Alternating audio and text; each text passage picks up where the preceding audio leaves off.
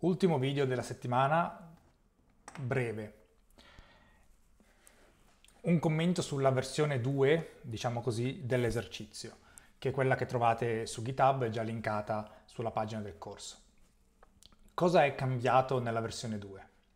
Essenzialmente è cambiato che adesso abbiamo due file, il nostro server.js come prima e il nostro dao.js.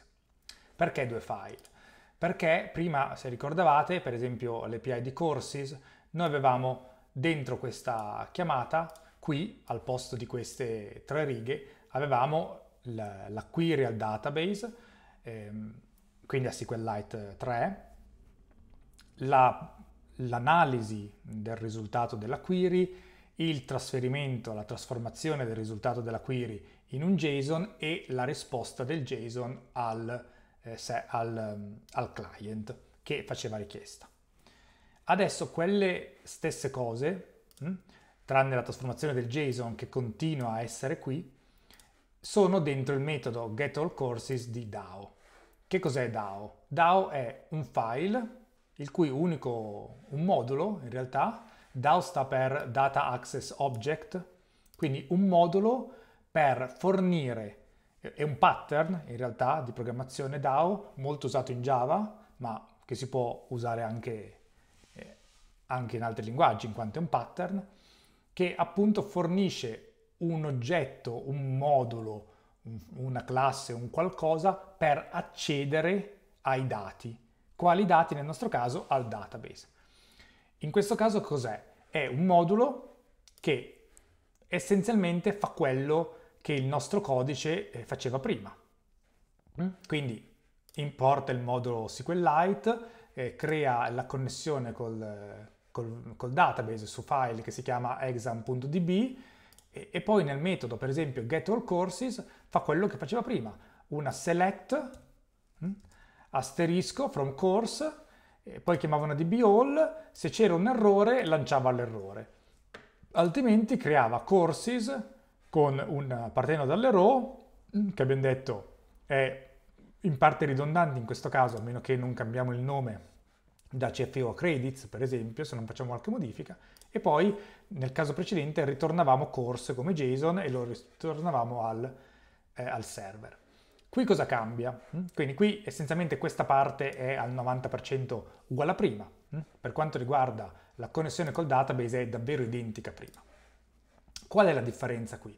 La differenza è che questo mm, è eh, questa getAllCourses, eh, se voi ricordate com'era prima, era una funzione, questa dbAll è una funzione asincrona. Quindi noi dobbiamo aspettare mm, che questi risultati siano disponibili prima di rispondere al server. Allora, prima cosa facevamo? Prima in questa dball facevamo tutto dentro dball. Mm, se ricordate avevamo app.get eh, courses e poi db.all e lì dentro gestivamo gli errori, gestivamo eh, questo mapping dalle righe nostro, ai nostri corsi e qui dentro rispondavamo correttamente al server, al client che ci faceva richiesta. Quindi mettevamo questo courses in un oggetto JSON e fornivamo la risposta HTTP. Adesso avendo diviso queste cose, avendo diviso le connessioni dal database con, con le root vere e proprie, eh, dobbiamo trovare un modo per, far, per, rispettare in un certo senso questa, eh, questa arrow quest, il fatto che questa dball abbia una callback e il fatto che questa dball sia asincrona.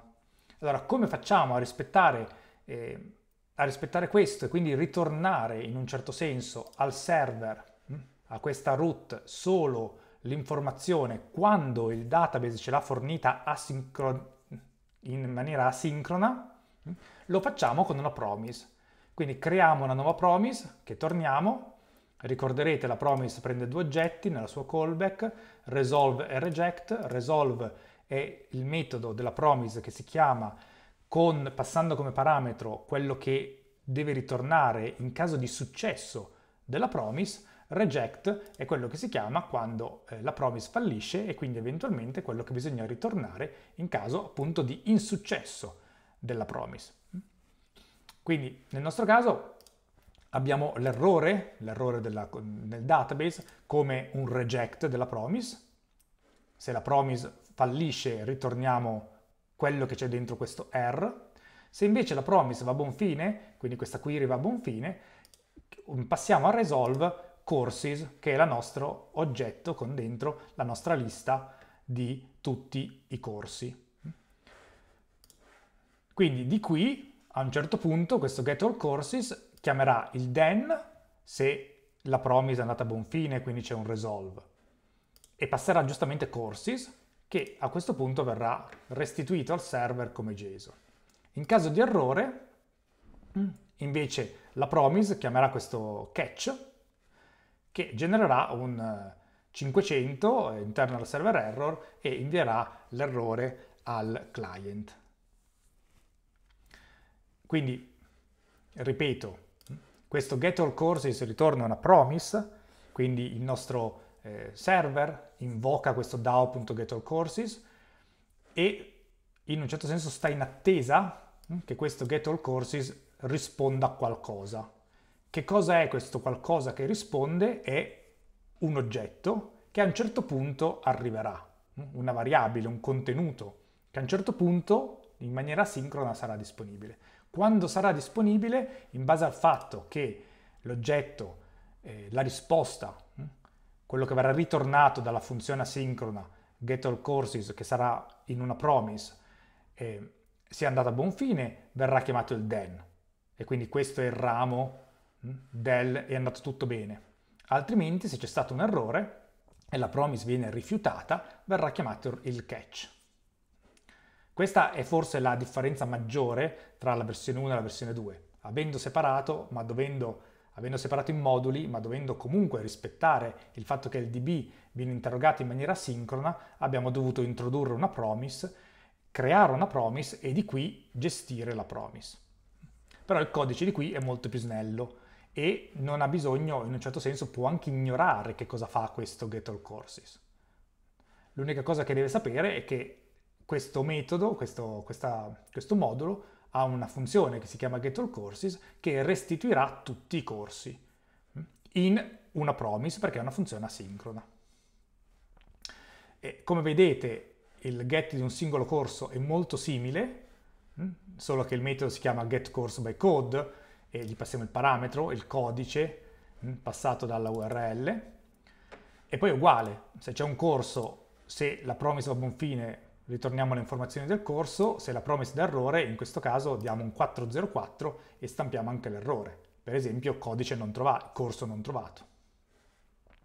In maniera analoga dammi tutti gli esami, mm, che qui è stato implementato rispetto alla versione 1, fa la stessa cosa di getAllCourses, quello che cambia la query SQL, perché uno insiste su una tabella e, insiste sul, e questo insiste sull'altra, e, e la post per creare un nuovo esame, di nuovo, mm, per la parte che riguarda la promise è la stessa cosa, creiamo un esame dal body della richiesta, passiamo questo esame alla create exam che farà l'insert e poi chiamiamo, in base al fatto che la promise vada a buon fine o vada o genera errore, restituiamo un 201 object created, eh, con, sì, cre- eh, resource created, e, e impostiamo un header di questa risposta per dire qual è il path nuovo, il path relativo dell'oggetto creato.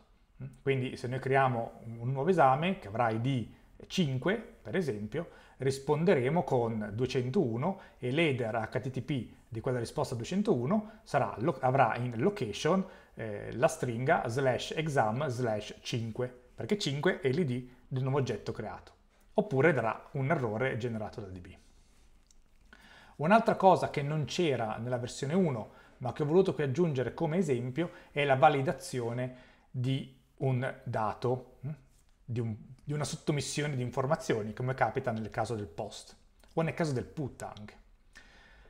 Cosa ho fatto? Ho installato questo middleware che si chiama Express Validator, sempre con npm install Express Validator, quindi adesso lo trovate in, in package.json e l'ho importato. Questo Express Validator, come è già scritto nelle slide, ha bisogno, eh, definisce due, due variabili, una che si chiama check e una che si chiama validation result, due proprietà, anzi. Queste proprietà possono essere inserite in mezzo alle chiamate, eh, alle root. Vedete app.post in genere aveva come primo parametro il path e come secondo parametro la richiesta e la risposta, in questo caso ha anche in mezzo questo array che fa questi due controlli. Quali sono questi due controlli? Questi due controlli utilizzano la proprietà check che abbiamo definito prima, importandola da eh, Express Validator e, la, e, e dentro nel corpo della root il validation result. Cosa fa il check? Il check definisce su quali proprietà del body, della richiesta, in questo caso, eh, vanno applicate dei controlli e quali sono questi controlli. Quindi diciamo che quando viene fatta questa chiamata post deve essere controllato che il body, hm, il campo score passato nel body, sia un intero, o sia convertibile in un intero, il cui valore minimo è 18 e il cui valore massimo è 30.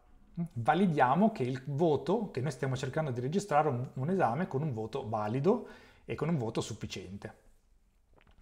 Inoltre facciamo un, un controllo sul codice del corso. Il codice del corso, da quello che possiamo dire, ha sempre una lunghezza minima di 5 caratteri e una lunghezza massima di 6. Non esistono codici di corso con lunghezza 2, per esempio e quindi controlliamo anche questa lunghezza. Il risultato di questo controllo va a finire in questo, eh, in questo errors recuperandolo tramite validation result. Quindi validation result della richiesta effettua effettivamente questi controlli e nel caso in cui questi controlli non vengono passati restituisce, inserisce in una variabile a vostro piacere, che qui si può chiamare error, degli errori eventuali. Quindi uno score non rispettato, magari maggiore di 30 o minore di 18, e un code più corto di 5 o più lungo di 6. Quindi questo fa questo controllo, restituisce una variabile, controlliamo se questa variabile ha dentro qualcosa, se questa variabile ha dentro qualcosa, a questo punto non ci serve andare avanti con creare il, il, il nuovo esame nel database, eh, perché abbiamo dei problemi in quella risorsa da creare, e allora restituiamo direttamente uno status 422 e riportiamo quali sono gli errori che arrivano da questo validation result. Proviamolo. Mm? Queste sono le grosse modifiche che ho fatto tra versione 1 e versione 2.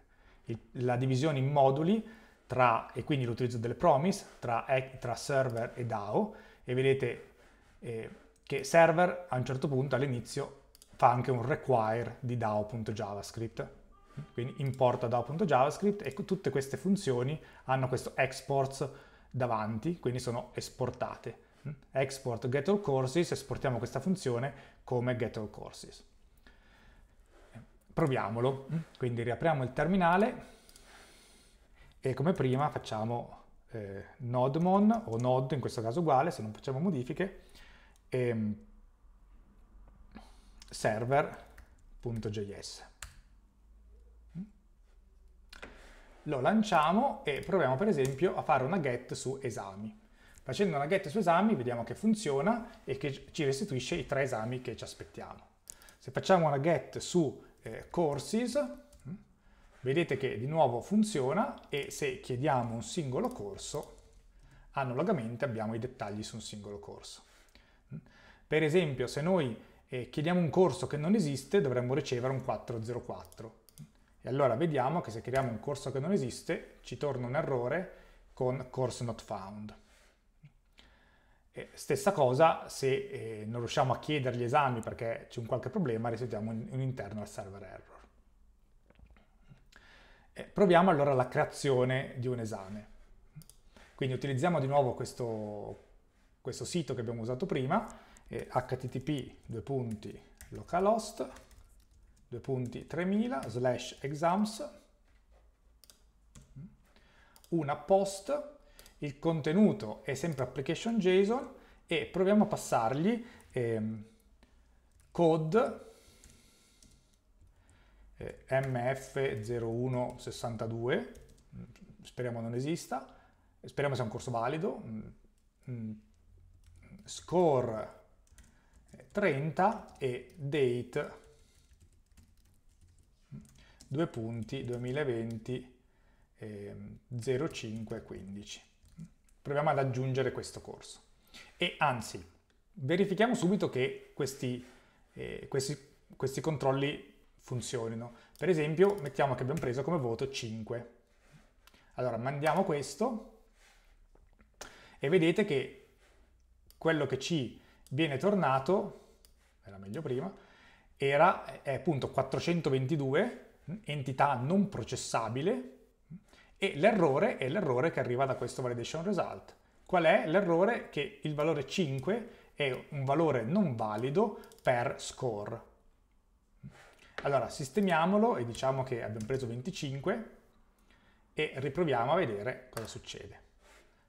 Vedete che a questo punto arriva un 201 created, che appunto vuol dire che abbiamo creato con successo, che il database ha inserito con successo l'esame, quindi ha passato tutti i controlli, ha inserito con successo l'esame e ha tornato un 201 created. Inoltre dovremmo aver tornato nell'header della risposta un location con la, la posizione, la URL relativa della nuova risorsa. Allora se andiamo a vedere nell'header, vedete che c'è questa proprietà location che ha slash exams slash 4. 4 dovrebbe essere l'id di questa eh, risorsa. Quindi se andiamo a chiedere di nuovo exams, dovremmo trovare metodologie di programmazione per il web, che è MF10162, con il voto che abbiamo appena inserito, 25, con id appunto 4.